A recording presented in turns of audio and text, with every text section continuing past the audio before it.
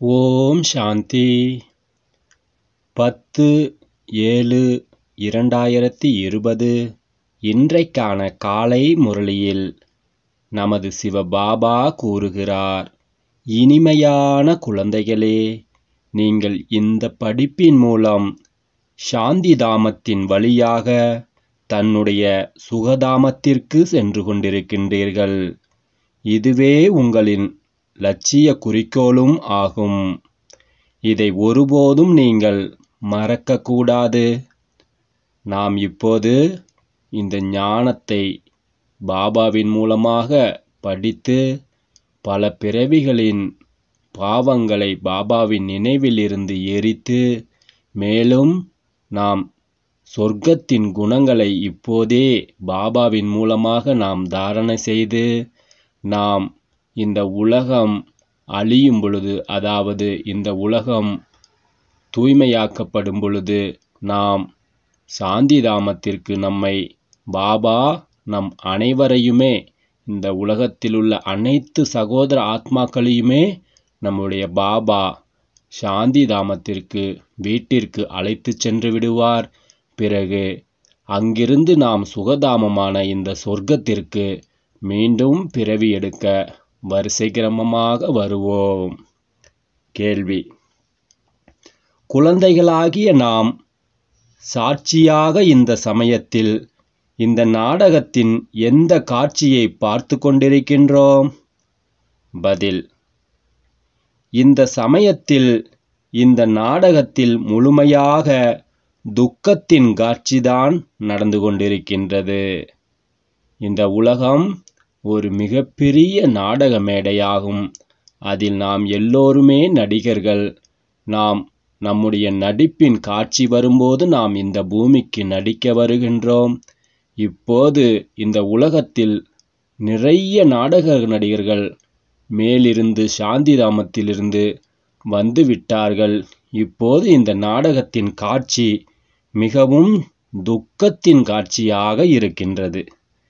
ஒருவேளை யாருக்காவது சுகம் இருக்கிறது? சிலர் மகிழ்ச்சியாக இருக்கிறார்கள் என்று கூறினாலும் அது அல்ப காலத்திற்கான அதாவது காக்கத்தின் காகத்தின் எச்சத்திற்கு சமமானதாக இருக்கும் என்று நம்முடைய தந்தை கூறுகின்றார். மற்றபடி இந்த உலகத்தில் இப்போது அனைத்துமே துக்கம்தான் துக்கமே துக்கம்தான். குழந்தைகளாகிய நாம் இப்போது வெளிச்சத்திற்கு வந்து கொண்டிருக்கின்றோம். வினாடிக்கு வினாடி நாம் எல்லைக்கப்பாற்பட்ட சிருஷ்டி சக்கரம் அதாவது வினாடிக்கு வினாடி எல்லைக்கப்பாற்பட்ட இந்த சிருஷ்டி சக்கரம் சுற்றியபடிதான் இருக்கின்றது. ஒரு நாளை போல மற்றொரு நாள் இருப்பதே இல்லை என்பதை நாம் அறிவோம். முழு உலகத்தின் நடிப்பு இப்போது மாறியபடி இருக்கின்றது. புதிய காட்சிகள் நடந்தபடி இருந்து கொண்டே இருக்கின்றது. இரண்டு முறை ஓம் சாந்தி ஓம் சாந்தி. ஒன்று தந்தை இந்த சுயதர்மத்தில் நிலைத்திருக்கின்றார். மற்றொன்று குழந்தைகளுக்கும் கூட இந்த ஞானத்தை சொல்கின்றார். தனது சுயதர்மத்தில் நாம் நிலைத்திருக்க வேண்டும். மேலும் நம்முடைய தந்தையை நாம் எப்போதும் நினைவு செய்து கொண்டே இருக்க வேண்டும் என்று சுயதர்மத்தில் நிலைத்திருங்கள். என வேறு யாருமே நம் தந்தையை தவிர வேறு யாருமே இதை சொல்ல முடியாது. குழந்தைகளாகிய நாம் இப்போது இதை புத்தியில் நினைவில் வைத்திருக்க வேண்டும். நிச்சய புத்தி விஜயந்தி அதாவது வெற்றி தரும். நிச்சயபத் நிச்சய புத்தி விஜயந்தி. அதாவது நாம் நிலையான தந்தையின் நினைவை நாம் வைத்திருக்கும்போது அது நமக்கு வெற்றியை கொடுக்கும். அப்படி நினைவில் இருப்பவர்கள்தான் நிச்சய புத்தி உள்ளவர்கள். வெற்றியையும் அவர்கள்தான் அடைவார்கள். எதனுடைய வெற்றியை அடையப் போகின்றோம்? தந்தையின் ஆஸ்தியினுடைய வெற்றியை நாம் அடையப் போகின்றோம். தந்தையின் ஆஸ்தி என்னவென்றால் சொர்க்கத்திற்கு செல்வதுதான் நம்முடைய வெற்றி. நாம் சொர்க்கத்திற்கு செல்ல வேண்டுமானால் நாம் தந்தையின் நினைவிலிருந்து பல பிறவைகளின் பாவங்களை எரித்து தந்தையின் ஞானத்தின்படி நாம் தூய்மையாக வேண்டும். இதுதான் தந்தையின் ஆஸ்தியை பெறுவதாகும். மற்றபடி பதவிக்கான முயற்சி சொர்க்கத்திற்கு கண்டிப்பாக செல்ல வேண்டும். இந்த உலகம் இப்போது சீச்சி உலகமாக கீழான உலகமாக இருக்கின்றது என நாம் இப்போது அறிந்திருக்கின்றோம். இப்போது இந்த உலகத்தில் மிகவும் அதிகமான துக்கம்தான் வர உள்ளது. இந்த நாடகத்தின் சக்கரத்தை குறித்து கூட நாம் அறிந்திருக்கின்றோம். பல முறை பாபா இந்த நாடகத்தில் பல கல்பங்களிலும் வந்திருக்கின்றார். நம்மையெல்லாம் தூய்மையாக்கி அனைத்து ஆத்மாக்களையுமே அனைத்து மனித ஆத்மாக்களையுமே கொசு கூட்டங்களைப் போல் அழைத்துச் செல்லத்தான் தந்தை இப்போதும் வந்திருக்கின்றார். பிறகு தாமும் கூட நிர்வாண தாமத்தில்தான் சென்று வசிப்போம். அனைவருமே நிர்வாண தாமத்திற்கு சென்று விடுவோம். அதாவது சூஷம உலகத்திற்கு நாம் எல்லோரும் சென்று விடுவோம். இந்த ஸ்தூல உலகத்தை விட்டு. குழந்தைகளும் செல்வார்கள். குழந்தைகளாகிய நமக்கு இந்த குசி இருக்க வேண்டும். இந்த படிப்பின் மூலம் நாம் சாந்திதாமத்தின் வழியாக மீண்டும் சுகதாமம் செல்வோம். இது நம்முடைய லட்சியம் மற்றும் குறிக்கோளாகும். அனைத்து ஆத்மாக்களுமே சாந்திதாமம் சென்று விடுவோம். பிறகு குழந்தைகளாகிய நாம் மட்டும் அதாவது தூய்மையாக தந்தையின் ஞானத்தை கேட்டு தூய்மையானவர்கள் மீண்டும் சுகதாமத்தின் ஆட்சி புரிய வருவோம். இதை நாம் என்றுமே மறக்கக்கூடாது. தினந்தோறும் இந்த மகா வாக்கியங்களை நாம் கேட்டுக்கொண்டிருக்கின்றோம். நம்மை தூய்மையற்ற நிலையிலிருந்து தூய்மையானவர்களாக ஆக்குவதற்காகத்தான் நம்முடைய தந்தை பாபா இறைவன் இப்போது வந்திருக்கின்றார். நமக்கு இந்த ஞானத்தை ஆசிரியராக இருந்து கற்பிக்கின்றார் என நாம் புரிந்து கொண்டிருக்கின்றோம். தூய்மை அடைவதற்கான சகஜமான நினைவினுடைய உபாயத்தை நம்முடைய தந்தை கூறுகின்றார். இதுவும் கூட புதிய விஷயம் இல்லை பகவான் ராஜயோகம் கற்றுக் கொடுத்தார் என எழுதப்பட்டுள்ளது. ஆனால் அந்த எழுதப்பட்டுள்ளதில் கிருஷ்ணரின் பெயரை போட்டுவிட்டார்கள். இந்த ஒரு தவறை செய்துவிட்டார்கள். குழந்தைகளுக்கு கிடைத்து கொண்டிருக்கும் ஞானம் கீதையை தவிர வேறு ஏதோ சாஸ்திரங்களில் இருக்கும் என்பது கிடையாது. தந்தையின் மகிமையைப் போல வேறு எந்த மனிதருக்கும் இந்த மகத்துவம் கிடையாது. என் எனவே குழந்தைகள் அறிந்திருக்கின்றோம். தந்தை இப்போது வராவிட்டால் இந்த சிருஷ்டி சக்கரம் சுற்றாது. இந்த துக்கதாமம் சுகதாமமாக எப்படியாகும்? தந்தை வருவதன் மூலமாகத்தான் நம்மை தூய்மையாக்குவதன் மூலமாகத்தான் இந்த துக்கதாமம் சுகதாமமாக மாறப் போகின்றது இந்த சிருஷ்டி சக்கரம் சுற்றத்தான் வேண்டும். தந்தையும் வரவேண்டியுள்ளது. தந்தை தனது பாகத்தை சரியாக நடிப்பதற்காக வந்திருக்கின்றார். தந்தை அனைவரையும் அழைத்துச் செல்லத்தான் வருகின்றார். பிறகு சக்கரமும் சுற்றுகிறது. தந்தை வராவிட்டால் கலியுகத்திலிருந்து சக்தியுகமாக இந்த பூமி எப்படியாகும்? மற்றபடி இந்த விஷயங்கள் எந்த சாஸ்திரங்களிலும் இல்லை. கீதையில்தான் ராஜயோகம் இருக்கின்றது. பகவான் அபுமலையில் வந்திருக்கின்றார் என புரிந்து கொண்டு விட்டால் அனைவருக்கும் இந்த செய்தி கிடைத்துவிட்டால் அனைவருமே சந்திப்பதற்காக ஒரே அடியாக ஓடுவார்கள். பகவானை சந்திக்க வேண்டும் என சந்நியாசிகள் கூட விரும்புகின்றார்கள். அல்லவா அனைவருமே இறைவனை நோக்கித்தான் இப்போது அழைத்து கொண்டிருக்கின்றார்கள். அனைவருமே திரும்பிச் செல்வதற்காக பதீத பாவனரை நினைவு செய்கின்றார்கள். இப்போது குழந்தைகளாகிய நாம் பல மடங்கு பாக்கியசாலியாக ஆகிக் கொண்டிருக்கின்றோம். ஆகவே அங்கே அளவற்ற சுகம் இருக்கும் புதிய உலகில் இருந்த தேவி தேவதா தர்மம் இப்போது இங்கே இல்லை. தந்தை தெய்வீக ராஜ்யத்தின் ஸ்தாபனை இந்த பிரம்மாவின் மூலமாக இப்போது ஸ்தாபித்து கொண்டிருக்கின்றார். இது தெல்ல தெளிவானதாகும். நம்முடைய லட்சியம் குறிக்கோள் தேவதையாக ஆகுவதாகும். இதில் சந்தேகப்படக்கூடிய விஷயம் எதுவுமே இல்லை. போக போக ராஜ்யம் கண்டிப்பாக ஸ்தாபனை ஆகிறது என அனைவருமே புரிந்து கொள்ளவே போகிறார்கள். இந்த ஆதி சனாதன தேவி தேவதா தர்மம் இருக்கும். நாம் சொர்க்கத்தில் இருக்கும்போதும் இதன் பெயர் கூட இந்த பூமியில் பாரதம் என்றுதான் சொல்வார்கள். பிறகு நாம் நரகத்திற்கு இந்த பூமி பழையதாக ஆகும்போது நாம் ஆத்மா என்ற நிலையை நாம் மறக்கும்போது நரகத்திற்கு செல்லும்போதுதான் இந்த பூமி இந்துஸ்தான் என்று ஆகிவிடுகிறது. இங்கே எவ்வளவு துக்கம் இப்போது இருக்கின்றது? பிறகு இந்த சிருஷ்டி சக்கரமும் மாறிக்கொண்டே இருக்கின்றது. பிறகு சொர்க்கத்தில்தான் சுகதாமம் ஆகின்றது. இந்த ஞானம் குழந்தைகளாகிய நமக்கு இப்போது தந்தை தருகின்றார். இந்த உலகத்தில் மனிதர்களுக்கு எதுவுமே தெரியாது. இப்போது அனைவருமே காரிருளில் நிறைந்த இரவாக இருக்கின்றார்கள். இப்போது அனைத்துமே காரிருளாக இருக்கின்றது என தந்தை தாமே இப்போது கூறுகின்றார். இரவில் மனிதர்கள் அடிக்கடி அடி வாங்கியபடியே இருக்கின்றார்கள். துக்கத்தை இந்த ராவணனிடம் அனுபவித்து கொண்டே இருக்கின்றார்கள்.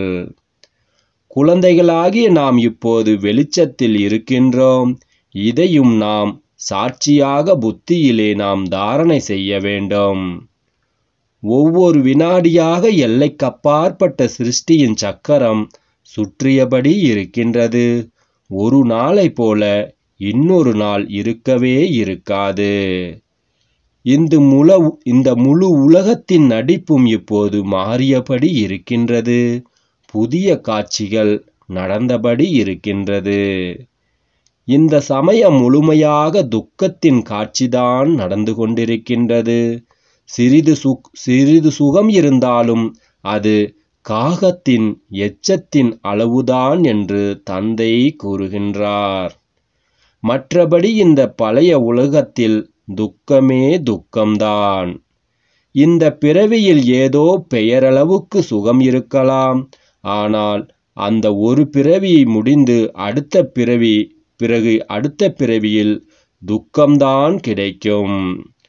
இப்போது குழந்தைகளாகிய நாம் இதை புத்தியிலே நினைவிலே இருக்கின்றது. அதாவது இந்த உலகத்தில் இப்போது சிலர் சந்தோஷமாக மகிழ்ச்சியாக இருக்கிறார்கள் என்றால் அவருடைய முதல் பிறவியாயிருக்கும். பிறகு இந்த பிறவியை விட்டு அடுத்த பிறவி எடுக்கும்போது அவர்களுக்கு துக்கம்தான் இப்போது கிடைக்கும். இப்போது நாம் நம்முடைய வீட்டிற்கு செல்கின்றோம். இதில் தூய்மை அடைவதற்கான முயற்சி செய்ய வேண்டும்.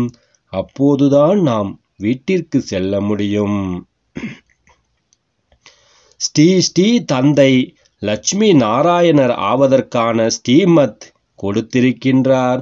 ஸ்ரீ ஸ்ரீ நம்முடைய மிகவும் உயர்ந்த தந்தை நம்மை லட்சுமி நாராயணர்களாக ஆவதற்கான ஸ்ரீமத் அதாவது உயர்ந்த வழியை இப்போது நமக்கு கத்து கொடுத்திருக்கிறார். அதாவது வக்கீல் பாடம் சொல்பவர் வக்கீலாகுங்கள் என்று இப்போது தந்தையும் சொல்கின்றார். நம்மை இந்த ஸ்ரீமத் படி நடந்து நம்மை லட்சுமி நாராயணர்களாக ஆகுங்கள் என்று தந்தை கூறுகின்றார். தன்னைத்தானே நாம் கேட்க வேண்டும். எனக்கு எந்த அவகுணங்களும் இல்லைதானே என்று நாம் சோதித்து கொள்ள வேண்டும். இந்த சமயத்தில் தேவதைகள் பாடவும் செய்கின்றார்கள். குணமற்ற என்னுள் எந்த குணமும் இல்லை. நீங்கள்தான் இரக்க காட்ட வேண்டும் என்று. இரக்கம் என்றால் கருணை. பாபா சொல்கின்றார் குழந்தைகளே நான் யாருக்குமே இரக்கம் காட்டுவதே இல்லை. இரக்கம் ஒவ்வொருவரும் தமக்குத்தாமே காட்ட வேண்டும். தன்னுடைய நலனுக்காக தாம் தான் நம்மீது இரக்கம் காட்டிக் கொள்ள வேண்டும். நாம் தூய்மையாக ஆக வேண்டும் என்ற லட்சியம் இருக்க வேண்டும். இந்த நாடகம் ஏற்கனவே உருவாகியுள்ளது. இரக்கமற்ற ராவணன் உங்களை துக்கத்தில்தான் உள்ளாக்குகிறார். ராவணன் நம்மை மேன்மேலும் துக்கத்திற்குத்தான் இழுத்துச் செல்கின்றார். நாம் தான் புத்தியாக தந்தையின் ஞானத்தை கேட்டு நாம் தூய்மையாக வேண்டும். இதுவும் நாடகத்தில் பதிவாகியிருக்கின்றது. இதில் ராவணனுடைய குற்றம் ஏதுமே இல்லை. தந்தை வந்து வழி மட்டும்தான் காண்பிக்கின்றார். இதுவே அவரது கருணையாகும். நம்முடைய தந்தை நமக்கு வழியை காண்பிக்கின்றார் கருணையோடு காண்பிக்கின்றார். அதை நாம் புரிந்து கொண்டு தந்தையின் வழியை பின்பற்ற வேண்டும். மற்றபடி இந்த ராவண ராஜ்யம் மீண்டும் மீண்டும் இந்த கல்பத்தில் நடந்து கொண்டுதான் இருக்கும். இந்த நாடகம் அனாதியானது. இது சுற்றி கொண்டேதான் இருக்கும். இரவு முடிந்தால் பகல் பகல் முடிந்தால் இரவு என்பதைப் போல. இந்த உலகம் சுகம் முடிந்தால் துக்கம் துக்கம் முடிந்தால் சுகம் என்று சுற்றி கொண்டேதான் இருக்கின்றது. இந்த சொர்க்கம்தான் பிறகு நரகமாகவும் மாறுகின்றது. இந்த நரகம் மீண்டும் இப்போது சொர்க்கமாகிக் கொண்டிருக்கின்றது. ராவணனின் மீதும் குற்றமில்லை மனிதர்கள் மீதும் குற்றமில்லை. சக்கரம் சுற்றத்தான் வேண்டும். ராவணனை விட ராவணனிடமிருந்து விடுவிப்பதற்காகத்தான் தந்தை நமக்கு இந்த யுக்திகளை சொல்லிக் கொடுத்து கொண்டிருக்கின்றார். ராவணனின் வழிப்படி நாம் எந்த அளவு பாவாத்மாக்களாக ஆகியிருக்கின்றோம்? இப்போது இந்த உலகம் பழைய உலகமாக இருக்கின்றது. பிறகு கண்டிப்பாக இந்த உலகம் புதிய உலகமாக மாறும். சக்கரம் சுற்றி கொண்டே இருக்குமல்லவா? சக்தியுகம் மீண்டும் வரவேண்டியிருக்கின்றது. இப்போது இந்த உலகம் இப்போது சங்கம யுகமாக இல்- உள்ளது. மகாபாரத சண்டையும் கூட இந்த சமயத்தினுடையதாகும்.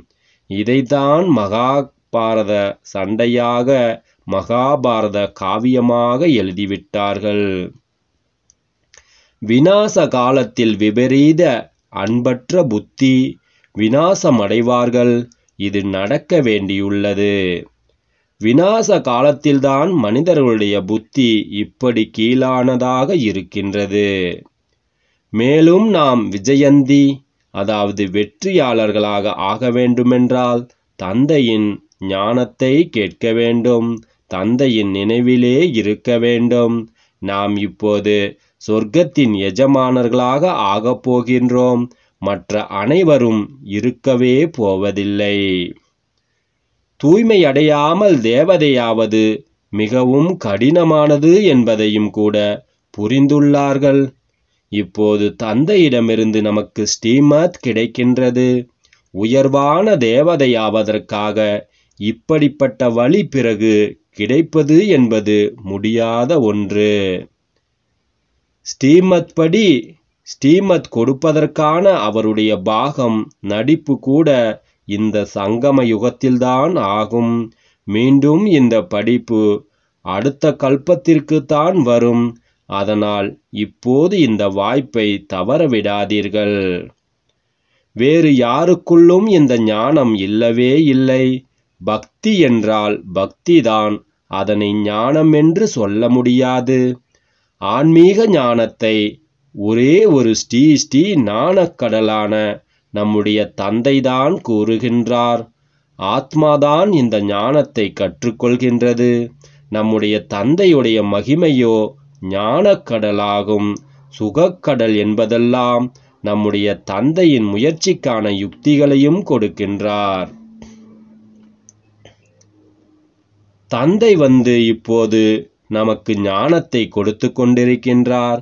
அதன் பிறகு நாம் தோல்வியடைந்து விட்டால் கல்ப கல்பத்திற்கும் நாம் இப்படியே தான் தோல்வி அடைவோம் நிறைய அடி விழும் என்று இந்த சிந்தனையை நாம் புத்தியிலே வைக்க வேண்டும். ஸ்ரீமத் படி நடக்காததால் அடி கிடைத்து விடுகிறது. பிராமணர்களின் மரம் கண்டிப்பாக வளர்ச்சி அடையத்தான் வேண்டும். இப்போது நமக்கு நன்மை கிடைத்து கொண்டிருக்கின்றது என நாம் அறிந்திருக்கின்றோம். தூய்மையற்ற உலகத்திலிருந்து தூய்மையான உலகத்திற்கு நாம் செல்லக்கூடிய நன்மை இப்போது நடந்து கொண்டிருக்கின்றது. குழந்தைகளாகிய நாம் இப்போது இதனை புத்தியில் பூட்டு இப்போது திறந்து உள்ளது.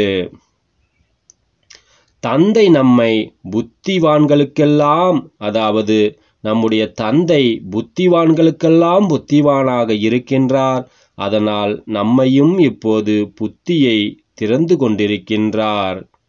இப்போது நாம் மீண்டும் இதை புரிந்து கொண்டிருக்கின்றோம். பிறகு முன்னால் போக போக யார் யாருடைய பூட்டு திறக்கிறது என்று பார்க்க வேண்டும். இந்த நாடகமும் நடந்து கொண்டே இருக்கின்றது. பிறகு சக்தி யுகத்திலிருந்து மீண்டும் நடந்து கொண்டே இருக்கும். இந்த லக்ஷ்மி நாராயணர் அரியாசனத்தில் அமரும்போது இந்த சக்தியுகம் தொடங்குகின்றது. அன்றிலிருந்து ஆயிரத்தி இரநூத்தி ஐம்பது வருடம் வரை சொர்க்கம் என சொல்லப்படுகிறது. ஆயிரத்தி இரநூத்தி ஐம்பது வருடங்கள் தான் முதல் தரமான சொர்க்கம் என்று எழுதவும் செய்கிறீர்கள். எவ்வளவு தெளிவாக உள்ளது. கதை கதை கரு சத்திய நாராயணருடையதாகும் இதுதான் முக்கியமான பாகமாகும். அந்த சத்திய நாராயணருடைய ஆட்சியின் கீழ் நாம் செல்ல போகின்றோம். நாம் சத்திய நாராயணராக லட்சுமியாக ஆவதற்காக இப்போது இந்த ஞானத்தை படித்து கொண்டிருக்கின்றோம். கதை அமர்நாத்தின் உடையதல்லவா? நாம் இப்போது உண்மையிலும் உண்மையான அமர்நாத்தின் கதையை கேட்டுக்கொண்டிருக்கின்றோம். அதுதான் பிற்காலத்தில் பாடவும் படுகின்றது. இந்த பண்டிகை முதலான அனைத்துமே இந்து சமயத்தினுடையதாகும். முதல் நம்பர் பண்டிகை சிவபாபாவின் சிவஜெயந்தி ஆகும். அதுதான் முதல் நம்பர் ஒன்னான பண்டிகையாகும். கலியுகத்திற்கு பிறகு உலகை மாற்றுவதற்காக தந்தை வரவேண்டியுள்ளது. படங்களை யாருமே உற்று கவனமாக பார்த்தால் எவ்வளவு முழுமையாக கணக்குப்படி உருவாக்கப்பட்டுள்ளது என அனைவரும் புரிந்து கொள்வார்கள். எவ்வளவு கல்பத்திற்கு முன்பு முயற்சி செய்தார்களோ அவ்வளவுதான் கண்டிப்பாக இப்போதும் செய்வார்கள் என்று அறியும் திறன் நமக்கு இருக்கின்றது. சாட்சியாக பிறரையும் பார்ப்பார்கள். தனது முயற்சி பற்றியும் அறிவார்கள். நாமும் அறிந்திருக்கின்றோம். மாணவர்கள் தம் படிப்பு குறித்து அறிய மாட்டார்கள் என்ன? நாம் இந்த பாடத்தில் சரியாக படிக்காமல் பக்குவமற்று இருக்கிறோம் என மனம் கண்டிப்பாக அரித்து கொண்டே இருக்கும். பிறகு தோல்வியையும் அடைந்து விடுவார்கள்.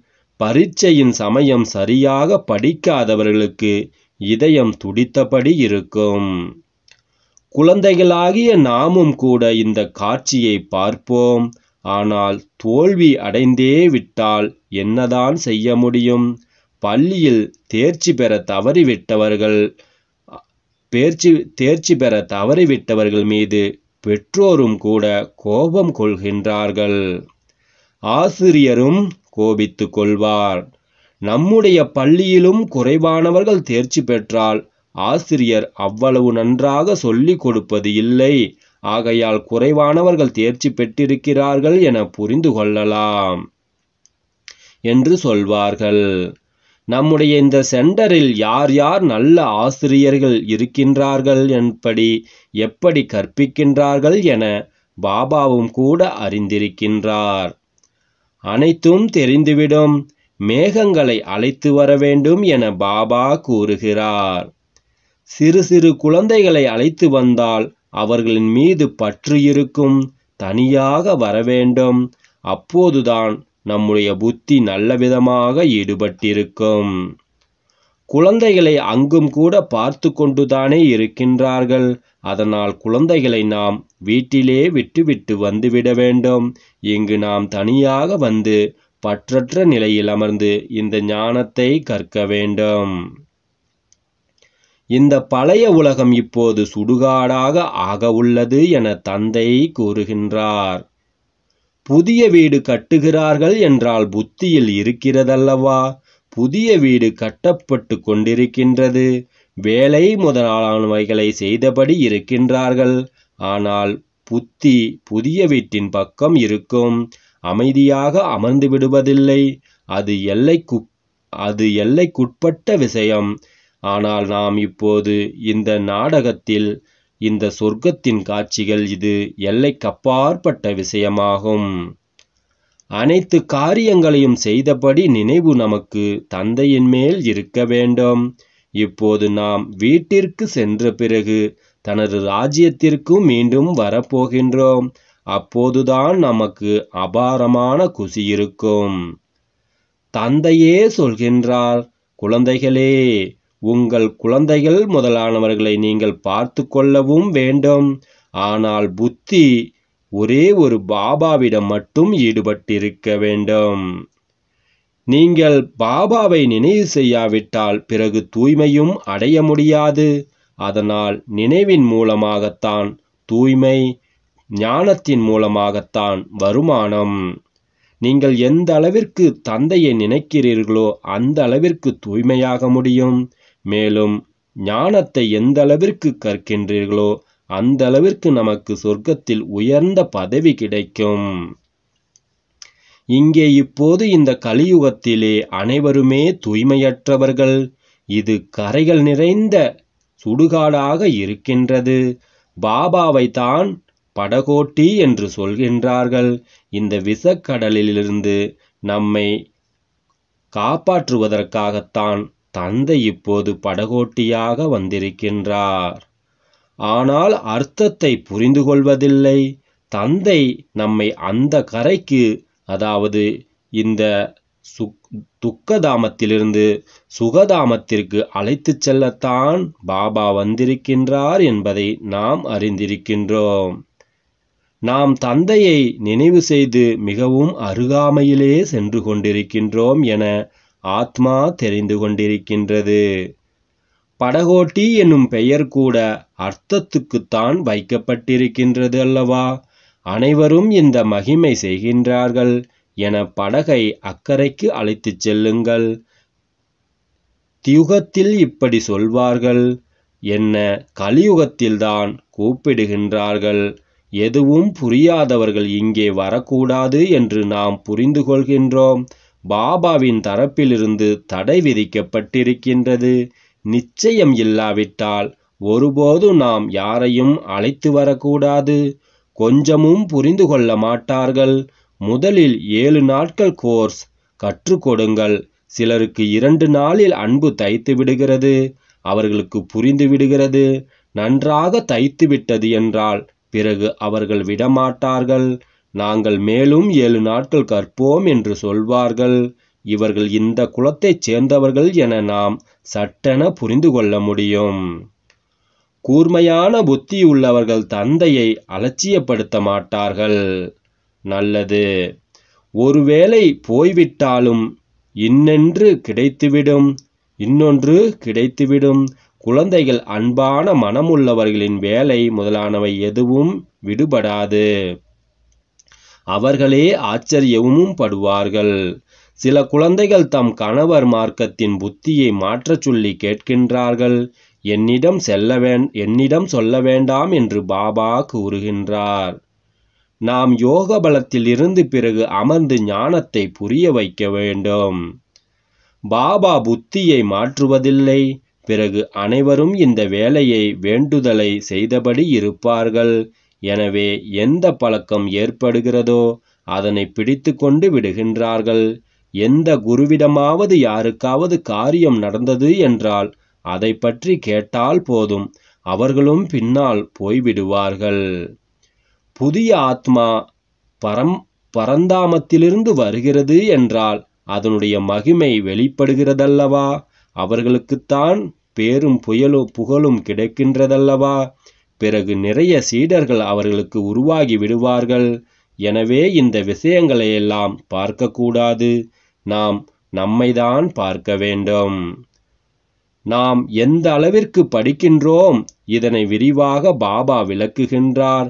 மற்றபடி தந்தையை நாம் எந்த அளவுக்கு நினைவு செய்ய வேண்டும் என்று மட்டும்தான் சொல்வதனால் அதனை வீட்டில் இருந்தபடியே நாம் ஞானத்தை கற்க முடியும்.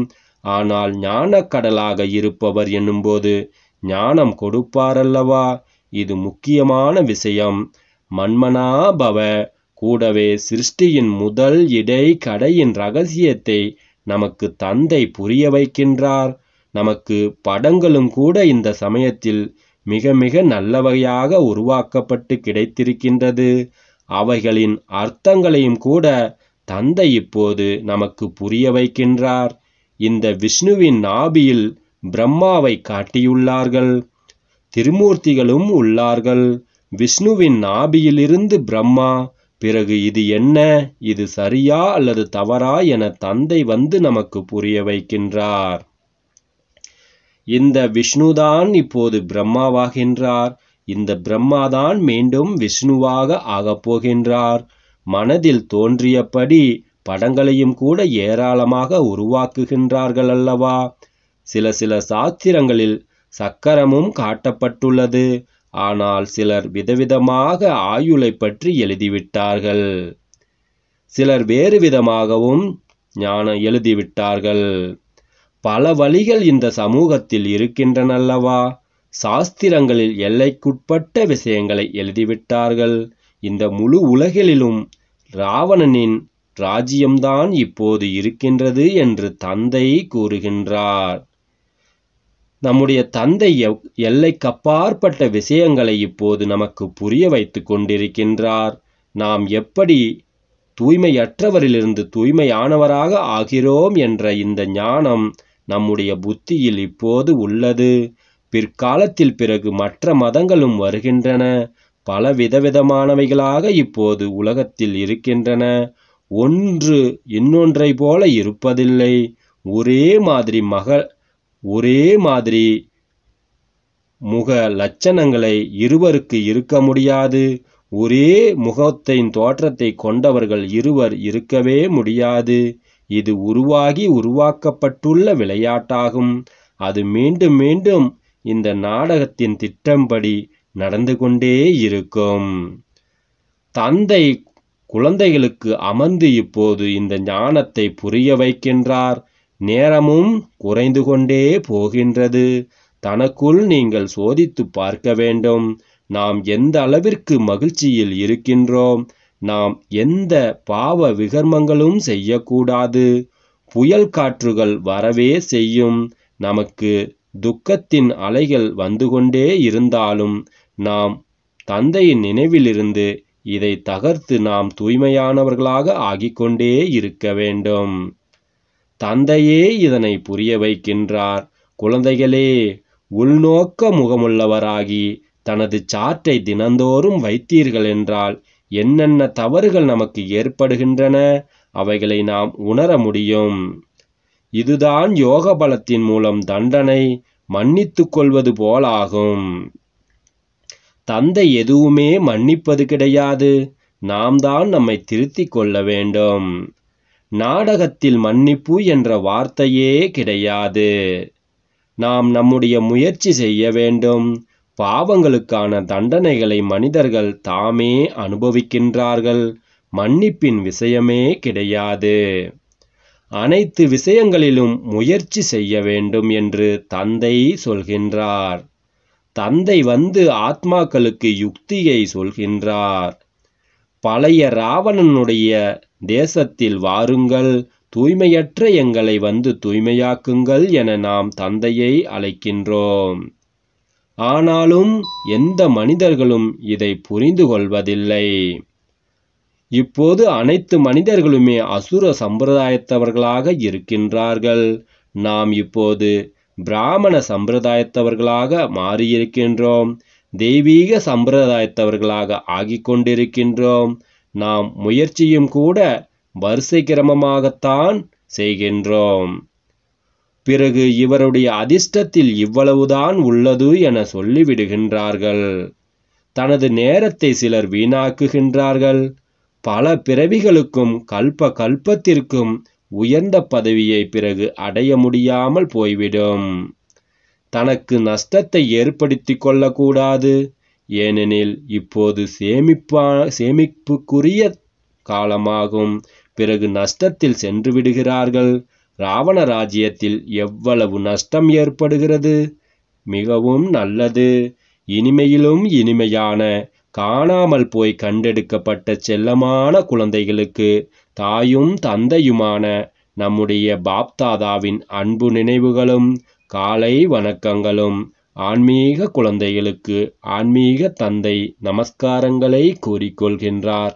நாமும் நம்முடைய இனிமையான தந்தைக்கு காலை வணக்கங்களையும் அன்பு நினைவுகளையும் நமஸ்காரங்களையும் கூறிக்கொள்வோம். தாரணைகளை பற்றி இப்போது பார்ப்போம். முதலில் உள்நோக்கு முகமுள்ளவராகி தன்னை நாம் சோதிக்க வேண்டும். தவறுகளை உணர்ந்து நாம் யோக பலத்தின் மூலம் மன்னிக்க வேண்டும். தனது முயற்சியை நாம் செய்ய வேண்டும். இரண்டாவது தந்தையிடமிருந்து கிடைக்கும் வழியில் முழுமையாக நடந்து தன்மீது தானே இரக்கம் காட்ட வேண்டும். சாட்சியாகி தனது மற்றும் பிறருடைய முயற்சியை நாம் பார்க்க வேண்டும். ஒருபோதும் தனக்குத்தானே நஷ்டத்தை ஏற்படுத்தி கொள்ளக்கூடாது. வரதானம். நிரந்தரமான நினைவின் மூலம் அழிவற்ற வருமானம் சேமிப்புக்கக்கூடிய அனைத்து பொக்கிசங்களுக்கும் அதிகாரியாக ஆகுக என்று தந்தை வரத்தை கொடுக்கின்றார். நிரந்தரமான நினைவின் மூலம் ஒவ்வொரு அடியிலும் வருமானம் சேமித்து கொண்டே இருந்தால் சுகம் அமைதி ஆனந்தம் அன்பு இப்படி தூய்மையான இது போன்ற அனைத்து பொக்கிசங்களுக்கும் அதிகாரியாக நாம் அனுபவம் செய்ய முடியும். அப்படி அனுபவம் செய்து கொண்டே இருப்பீர்கள். இந்த கஷ்டத்தின் அனுபவமும் ஏற்படாது. சங்கம யுகத்தில் பிராமணர்களுக்கு எந்த கஷ்டமும் ஏற்பட முடியாது. ஒருவேளை ஏதாவது கஷ்டம் வந்தாலும் அது பாபாவின் நினைவு ஏற்படுத்துவதற்காக வருகிறது. ரோஜா மலரின் கூடவே முள்ளும் அதை பாதுகாப்பதற்காகத்தான் சாதனமாக இருக்கின்றது. அதே போன்றுதான் இந்த கஷ்டங்கள் மேலும் மேலும் தந்தையின் நினைவை ஏற்படுத்துவதற்காக நமக்கு நிமித்தமாக ஆகின்றன. ஸ்லோகன் பரமாத்மா ஸ்ரீமத்தின் ஆதாரத்தில் கர்மம் என்னும் விதைக்கு சுப சங்கல்பங்களின் நீர் கிடைத்து கொண்டே இருந்தால் விதை சக்தி நிறைந்ததாக ஆகிவிடும். ஓம் சாந்தி ஓம் சாந்தி ஓம் சாந்தி.